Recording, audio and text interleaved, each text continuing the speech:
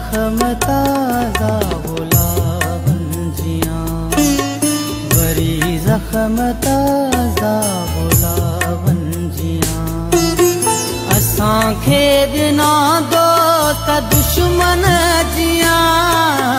اسان کي ڏنا دوست دشمن جيا. وري زخم تازا